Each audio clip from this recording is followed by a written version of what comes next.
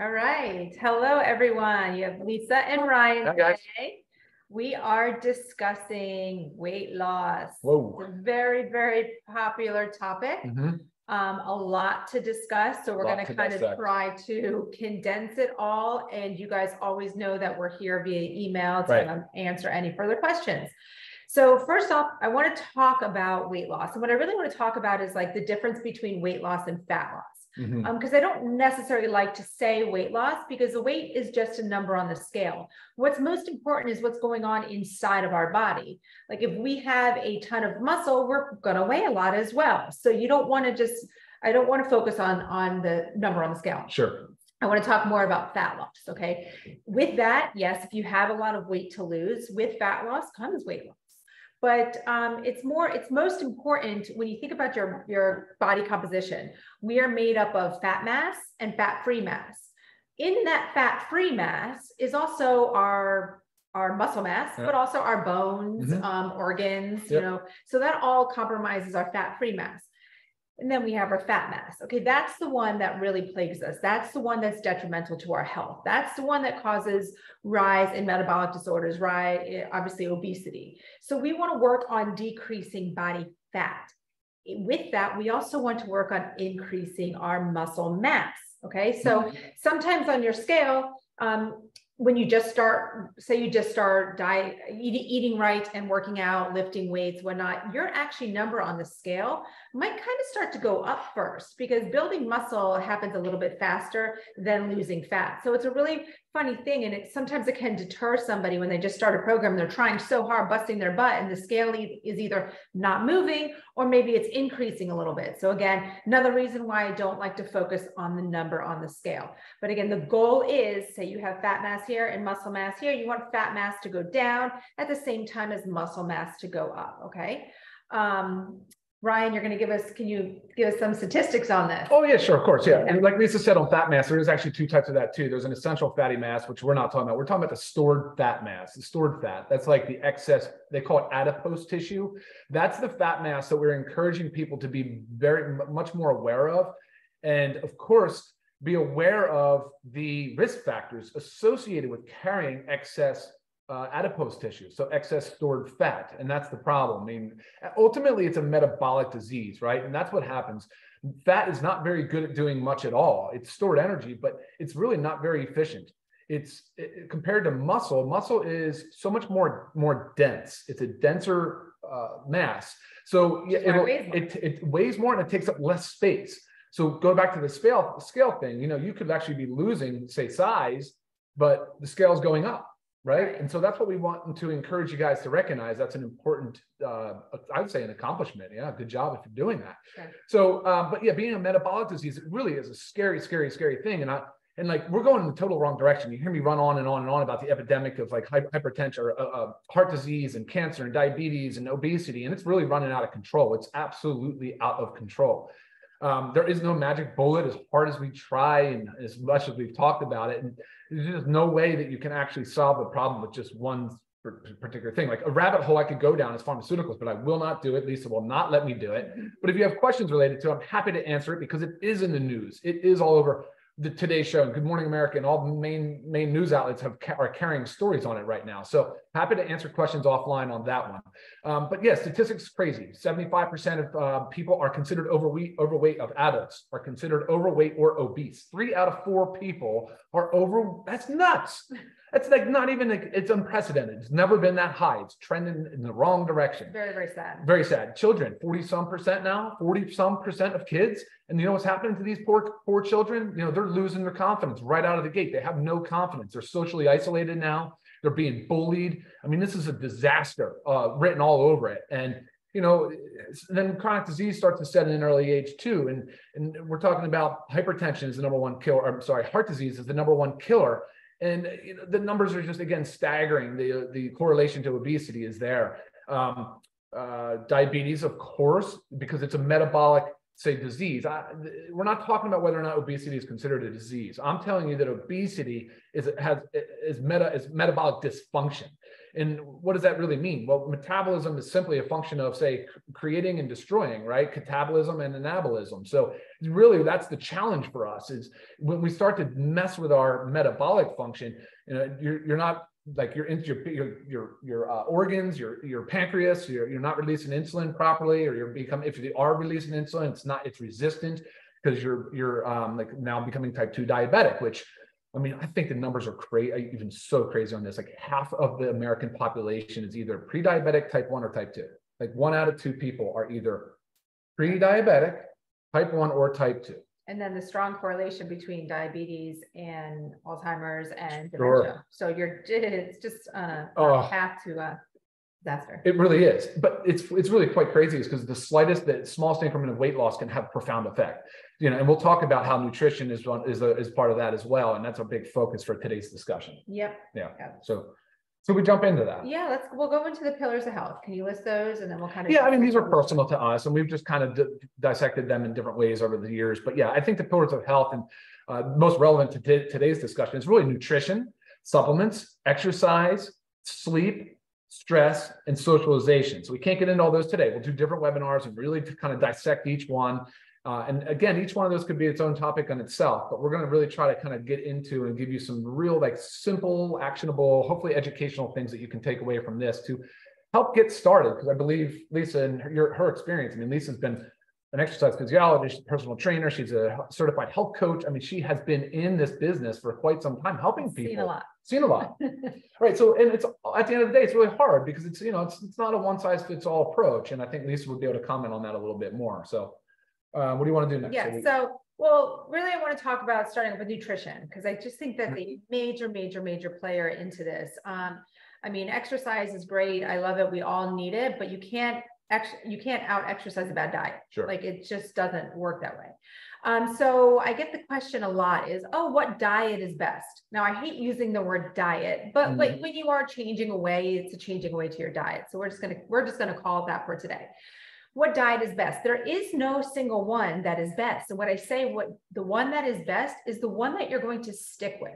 Because there's nothing good about doing something. Let's say i'm going to do keto for a couple months and then you realize oh that's too restrictive for me. Then you get off of it. And then what happens you get like this yo-yo in weight loss and weight gain which is also extremely stressful on the body um, and not healthy for the body. So you really need to find something that um, you're going to stick with now, if it's something like you want to kickstart it off with a keto, that is something like, again, it's a very restrictive program.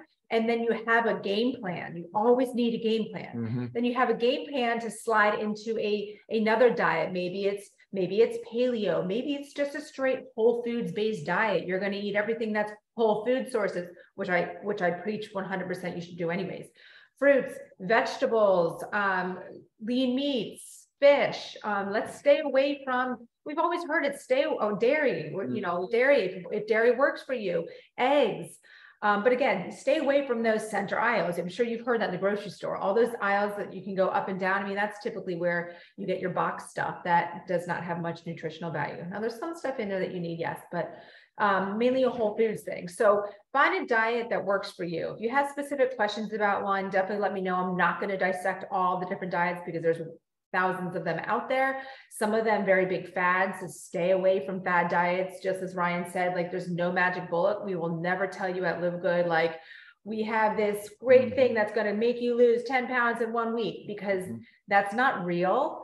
And it's also not sustainable. Like you Mhm. need to do something that you can do for the rest of your life because it's not like we're not just trying to lose weight real quick for something. Okay. We're trying to be full on healthy for the rest of our lives. Right. And this goes with your family too. How, how Ryan was saying something about childhood ob- obesity. You have to think about what you're doing for yourself. You also have to do for your children. We can't be eating all these whole food sources and then buying our kids Lucky Charms and um, um, Twinkies and, you know, junk like that. So it goes for everybody. Um, okay, so we talked about best diet is whatever's going to work for you, whatever you're going to stick with, eating whole foods, always focus on whole food sources. Um, I know you wanted to ask me a little bit intermittent fasting, right? You had asked a question did. about that. Yeah, sure. And I know a lot of people also do reach out to me about intermittent fasting and my take on it. Now, there is lots of different schools of thought out there. Um, lots of different science behind all different ways of intermittent fasting. But I want to tell you that What's most important about fasting is that you fast for a solid 12 hours. Now, if you think about that, guys, that's pretty easy. You're probably already doing that anyways, from the time you finish dinner to sleeping through the night and then waking up and having whenever you have breakfast. The reason you need to do the 12 hours is when we sleep, when we are resting, when we are fasting, our, our body's um, doing its healing and repairing. If you give it food, it's going to go straight to digestion. So then your body's not doing the other things that it needs to do. Say even you have like a little injury going on, it's not going to be able to focus all its attention on that injury when you're constantly feeding it, because then it's going to say, oh, now we need to digest. Now we need to digest. That's where those 12 hours come into play. Um, most people know about the most common internet intermittent fasting is the 16-8, right? Where you fast for 16 hours and then you eat for eight hours. That can also be a great way for you to control your calorie intake, okay? Um, but again, you have to find what works for you. You can you can fast for 14 hours. Um, some people like to throw in a 24 hour, um, which you don't have to do all the time, but like you could do a 24 hour water fast once a month. Um, again, you have to find out what works for you. Me personally, I'm about 14 to 15 hour fast because um, I'm very careful of not to over stress my body with that, which goes right into um, for especially for pre-menopausal women. For premenopausal women, you also have to be careful with fasting too much because you could really screw up your hormones. Mm. It can actually cause a high stress response in your body, and then your hormones get thrown off, and then what happens? We gain weight. Okay, so it's like you're you're just fighting against your body. You have to go with what's what what your body is actually telling you. So to me, after I after I work out, have my overnight fast, it's about 14 to 15 hours. My body's like, all right, Lisa, it's time to eat, and then I break my fast. Um, so again, find that sweet spot that works for you, but it is another way, if you want to call it a diet, it is another way to control what you are eating and, and how often and when. So how you can only get so much food in in that eight hour window. So it can help you, especially if you need to go on a little bit of calorie deficit to lose weight. Okay, that was the big one. Mm-hmm. Um, talk a little bit about macros and oh, yeah. micros. Um, so we'll get more into, I'll let Ryan get more into the micronutrients. And that's all your vitamins and minerals. So it's going to kind of tie into like, you know, with a supplementation. But your macros, you also need to make sure you're getting all your macronutrients. Okay. Those are your um, proteins, carbohydrates, and fats. Um, the most important one really is protein. Okay. And I want to emphasize um, protein intake. I've, we've done um, Zooms on this, so I'm not going to go into super detail, but you need to make sure you're eating enough protein for weight loss. You have got to do it. Mm-hmm. Um, a great way to think about it is incorporate some type of protein at every single meal. Not to mention the easiest way to get 20 grams of protein in there is our, um, our protein powder. Um, so got to focus on your protein. It's also going to help you eat less okay? Because you're going to feel full after a meal. Think about if you just eat a plain salad or if you have like a nice five ounce piece of chicken breast um, and a little bit of broccoli. You're going to feel full. So you're not going to feel like snacking right away or like, oh, how am I going to make it to dinner? I'm starving. So make sure you're getting that protein in there uh, calories do matter. I, I, hate that whole theory of like if it fits in your calorie calories, eat it because you've got to feed yourself like real nutrition, real whole foods. Yeah. What you eat actually matters. Um, and if you're needing to lose weight, you do need to be at a little bit of a calorie deficit. You have to be there for the body fat to go down. But you want to be careful not to go too low in that because a lot of people think, oh, well, I want to lose weight. I'm just not going to eat well, that's a mm-hmm. problem, right? Backfire. Because first, yes, it backfires 100%. I'll tell you why it backfires is because it starts to slow your metabolism down. We want our metabolism going. We want our bodies working for us. When we're resting, when we're doing nothing, we don't just want it working for us when we're exercising or trying. We want to be super efficient. When you're not eating enough, especially for a long amount of time, your body starts to slow down its metabolism because it thinks, hmm, I don't know when I'm going to eat again. Okay. Your body's not your brain it doesn't know when you're going to eat again. So naturally, it slows everything down to preserve what is there. So you've got to make sure you're eating enough, but also be again be at that little bit of a calorie deficit, be below your calorie calorie goal. Um, and I'll give you some tips on how to calculate all that in general. So again, you got to eat to lose. You really do. I've had so many pe- patients that I've worked with one-on-one that they when they tell me, oh, I'm only eating 1,200 calories a day, I'm like, well, there's your problem. So I increase their calories, say to 1,600 or somewhere up in, in, you know 1,800 calories a day, and what starts to happen? The fat melts off of them, guys. I'm serious. It's the hardest concept because like, wait, how do I eat more but then lose weight? It's real. If you eat the right things, You will, I promise. Um, eliminate added sugars. Mhm. Sugar in general is like the root cause of like everything. Sugar is horrible. So please eliminate those added sugars. Leave yourself maybe one little small uh, dessert a few times a week, a piece of dark chocolate after dinner. We always go for our, our another serving of our protein powder because it really is delicious. Um, okay, that's a lot about nutrition. Do you have any questions on that? Anything that I missed? Man, I, we can tell you're passionate about, it. you know your Yeah, stuff. go It just, uh, nutrition. Yeah, I, I don't have anything specific on that. Okay, and then I'm going to tap into exercise, and I don't want to get too into too specifics on exercise because everybody is in their own um, situation. Okay, what do you have access to? What your time allows you? But the biggest thing you need to understand is you've got to move your body every day. Mm. If you're at a computer job, and I get these emails, well, I sit for eight hours a day. Well, why are you sitting? You know, you can stand up. You can you can request maybe a um, uh, a standing desk, uh, or you can build one, right? You just need to build something elevated. Your body's working harder when you're standing. Um, so get, get a standing desk or set an alarm. Okay. Every 15 minutes. I know Apple Watch does it too, Mhm. right? Mhm. What is it? Get Do you know how often? Mm-mm. Every like 15, 20 minutes, get your body up and move. If you're in the office, go to the water cooler, go to, go to the kitchen, wha- whatever you have to do, just move your body. And tell your boss it'll increase productivity. It And hundred focus. percent, it will hundred percent will. Um, and then there's two types of, of, um, exercise, right? You have your resistance training, your, your weightlifting, um, and which can also be done with body weight because, you know, it is a weight. And then you have your cardiovascular exercise. We really do need both of them. Um, it's hard to say, choose one or the other. Like, look, if you told me you had only three hours, um, a week to commit to exercise, I would say do two 30 minutes of each, you know, a week. So I'm just giving an example if you have like super limited time, but you need to do the, the cardiovascular training. You need it for your heart, but it also helps with weight loss. But you've got to put, you've got to lift weights. You've got to put muscle on. And what does muscle do for us? It helps us burn fat. Muscle increases your metabolism. Then it's your body's just burning fat. So the more muscle you have, the more fat you're going to burn. The scale might say you weigh a little more, but you know, if you can know your body composition, which I'll, I'll give you some tips on how to know that. If you can know that, you can see the conversion of it all.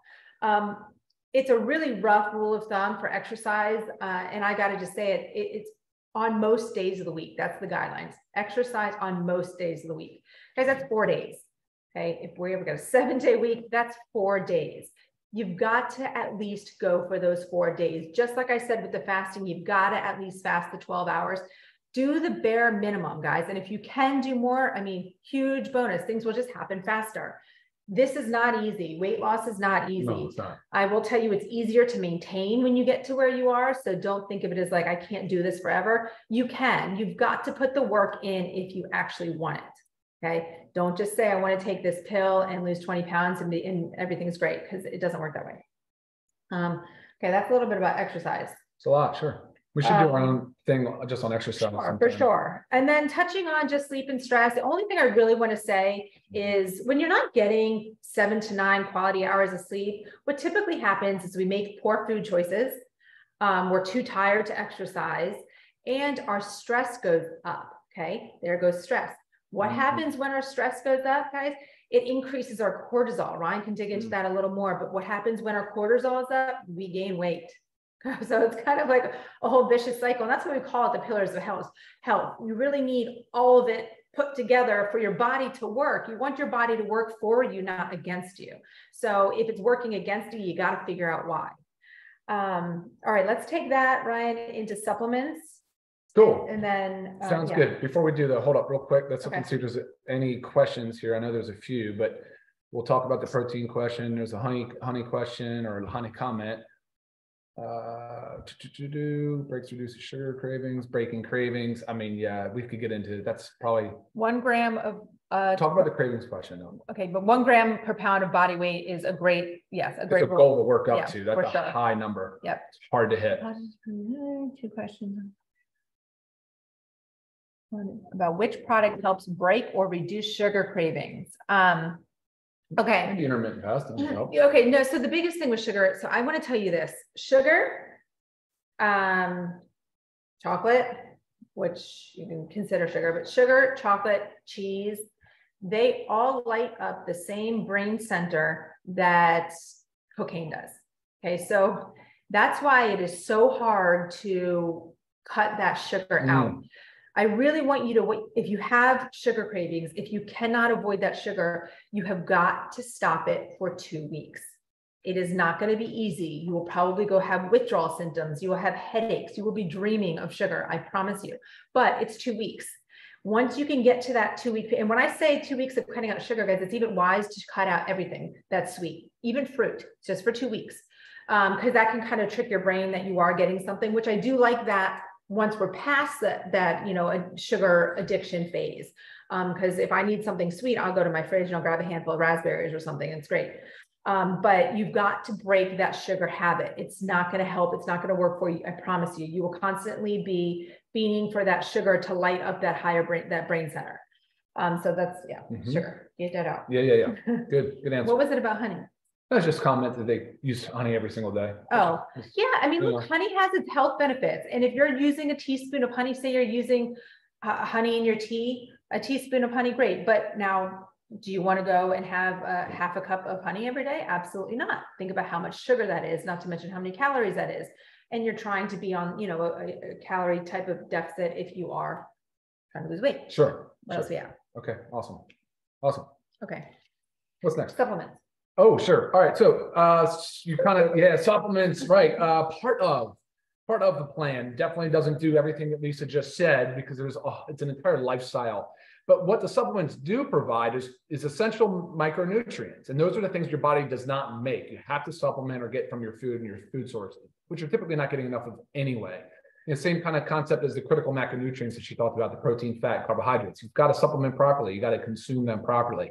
So the concept at Live Good, though, we wanted to focus on the body composition argument, that piece for a lean muscle mass, to increase lean muscle mass. And that's that's important because the lean muscle mass, again, is is a is, is a more dense tissue, but it's also way more metabolically active. It's a huge energy demand center. So the more lean muscle mass you have, the higher your resting metabolic rate will be. And Lisa talked about metabolic rate and metabolism. And you'll literally burn more calorie, calories and significantly more at rest if you have more lean muscle mass. And so that's, I mean, that's to me, like, that's the only way that this makes, this whole thing makes sense. So we, what we did was we started, let's, let's attack the foundation first. So the foundation is going to be the, the Live Good Bioactive Complete Multivitamin contains essential, mi- essential micronutrients. So those are the things your body's not getting, not, not making on its own, the vitamins and some minerals. So that's what's there. And then there's B vitamin complex. Um, it's formulated for men and women. So it contains all of those essential, uh, well, not all of them, but most. And that's a really important foundational supplement. The next foundational supplement we have is the vitamin D3 with K2. D3 with K2, guys, it's a fat soluble vitamin, best taken with food, usually in the morning, and helps actually regulate some of the melatonin, suppress some of the melatonin. So it's involved in your sleep and awake cycle. Oh, there you go. Um, but the, the vitamin D3 is, is super, super heavy duty involved in bone and bone health, in immune function, in energy, in mood. Um, but as we're talking about aging and lean muscle mass preservation, you know, it's a big part of that discussion is your bone health as well as your hormone health. And we're going to talk about that here in a second. Um, so yeah, that's vitamin D. Now that's what- with 2000 units and you guys can watch the, the YouTube videos on D. We'll get real granular on that. Magnesium is a, a- just an absolutely a monster in this, this uh, foundational supplement because it's involved in over 300 biochemical reactions. But think about this. Magnesium has a huge role in bone health, in muscle and nerve function. It's like being involved in over 300, it's involved in hormone, um, it's involved in its sleep regulation, stress regulation. So it's it's really critical that we get enough magnesium. Most people are not. Most people are not. Now, of all these, the vitamin D is easy to, to measure in the blood test. Magnesium, not as easy, not as easy. And then, of course, all the micronutrients in our panels, but that's not really something we recommend you do. Then we decided we're going to try to go after, we're going to attack the protein hypothesis. So we wanted to add in what you get is you get your choice of amino acids, you get two tubs, two tubs of the complete plant-based protein. And the idea here is that you're, you're not, you're probably not getting enough protein in your diet. That's the concept because the amino acids um, will, can be counted towards, towards your protein goal. But amino acids, protein and protein are both well, protein is just amino acid, truthfully what it is. They're the building blocks of life. quite frankly. So they're really, really involved in, in, the, in the metabolism of um, hormones, of enzymes, of neurotrans. So let's talk about that for a second. Hormone dysregulation, huge problem, huge problem with obesity. Yeah. Right. So much dysregulation going on. I know that's a hot topic for Lisa. We probably will do a Zoom literally just on hormones. It's it's a lengthy discussion. We're both pretty well educated in, on that topic. But so it's a precursor to hormones. It's a precursor to enzymes, which are really important for breaking down foods, and uh, they're involved in a lot of different chemical reactions in the body. It's a precursor to neurotransmitters. So really, the, the, there's a bunch of them, but the two main ones that come to mind, like you know, your reward center, your dopamine, your serotonin, involved in sleep, and there's just so much that goes on in neurotransmitter world. Um, and then, of course, the protein is involved in muscle synthesis and preservation and maintenance of muscle mass. And that's ultimately what we're trying to help you guys achieve is putting on more, more lean muscle mass for all of those reasons we just mentioned. I think that does that round out the pack? I know you have You coffee here. Coffee in, remember, that's an Oh. optional because some people don't drink coffee. You coffee can have can't have caffeine. It Yeah. The option there. The coffee is cool. I mean, it's a ther- it's awesome. Don't get me wrong. It's a thermogenic, and people are like, "Well, I wouldn't. I like caffeine for weight loss," but no, that's really not the best way to look at it. But it is. It's a good jump start to the day. It's got adaptogenic mushrooms, helps with your stress response, Fiber. fiber, um, maca green tea. So it's really it's it's loaded. It's a beautiful coffee. It's all USDA certified organic. So you know you're getting a really good um, a healthy coffee. Right. And there's certain things that um, I know that they're not up here with our lean body pack, but I just want to say a few, a few things that can help increase metabolism. A few supplements, fish oil, because we know that's in our factor four. Uh, turmeric or curcumin, we know that's in our factor four. Green tea, which we have green tea in the um, coffee, as well as the super greens.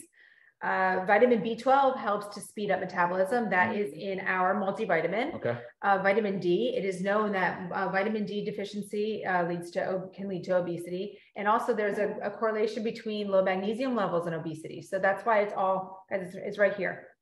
It's it's easy. We made it easy for you to do. And of all the things that we're talking about with the nutrition and the the um, exercise and the supplementation, guys, this is easy.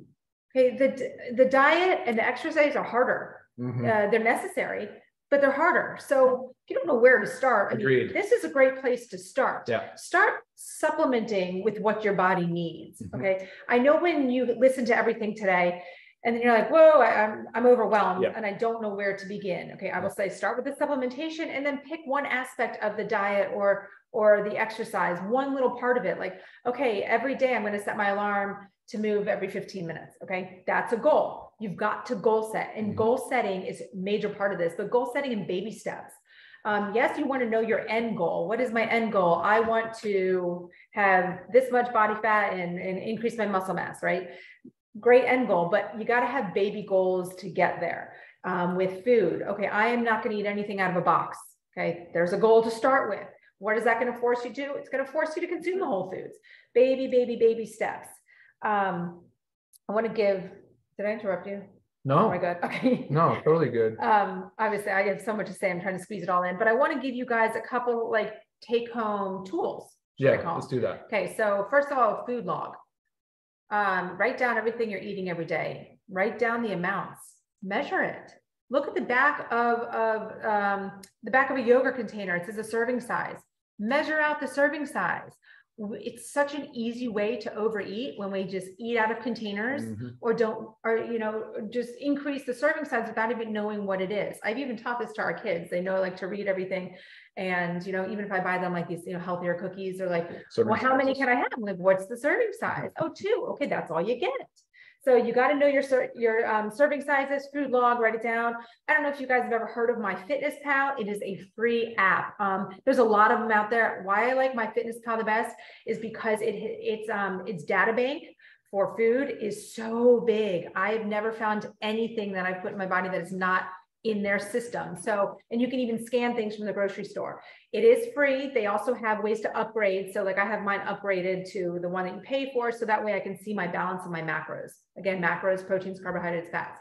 But check out MyFitnessPal, download it and use their free app. It, it, you can plug in your weight, how much you want to lose. It, it'll give you a calorie goal and then you log all your food in there. It is the only way to really know what it, you are putting in your body. You've got to see it. Um, you also wonder how much, like Ryan asked me earlier, he's like, well, how does one know how much they should weigh? There's an ideal weight calculator, and that's at, um, on a, um, a website, calculator.net. Calculator.net. You plug in your age, your height, and it will give you an ideal body weight. It, it has, I think, five different um, formulas that they use. So you get five different ones. They're all pretty much the same. And then it'll give you your, oh, we didn't talk BMI. It'll give you your BMI, Oh, which yeah. is the range weight. BMI, Yeah, plug it there real quick. mine's twenty-six, which means I'm overweight, which is, Right. And the reason his is high is because he carries a lot of muscle. So BMI is your body mass index. It takes into account your height and your weight. So I'm going to give you a couple examples that really throw that off. Ryan was one of them. Another one, say you take someone that's really short, but they carry a lot of muscle. They're going to show that they're obese based on the BMI calculator. Or you have somebody that I like to call the skinny fat. It's really sarcopenic, sarcopenic obesity. It's when you are naturally just skinny. You, you, you look to the eye skinny, but you have body fat all over inside that you can't see. So on a BMI, it looks like you're doing great, everything's rosy, but your body fat percentage is so high that you're just as unhealthy as someone that weighs 300 pounds. Okay. Um, so use those, don't necessarily focus on the BMI. Try, check out myfitnesspalcalculator.net. Oh, another way. So there's by BIA, bioelectrical impedance analysis. Um, doctor's offices, some do this, um, some gyms do it, but you can also, I actually just looked it up on Amazon real quick so they give you a price. You can go onto Amazon and get a scale. Now there's always a little bit of error with these because it's, it gives you a starting point and it allows you to watch your conversions. Um, $25 for this scale that also reads your body fat. It has, um, you know, it's based on electrical currents going in your body. Okay, yeah, so those are the easiest ways to do this at home. I just had something else on my mind, don't remember.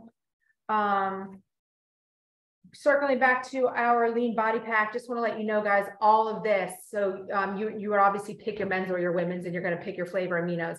All of this without the without the coffee because we have that as an add-on. But all of it without the coffee is $89.95 for members. yeah. I mean, that's a lot. Two of these, two two proteins, $89.95, and then retail $119.95.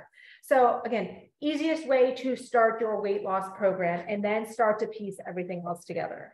Um, some body fat percentages that I can just, or dogs are crying at the squirrel Yeah. Through the window.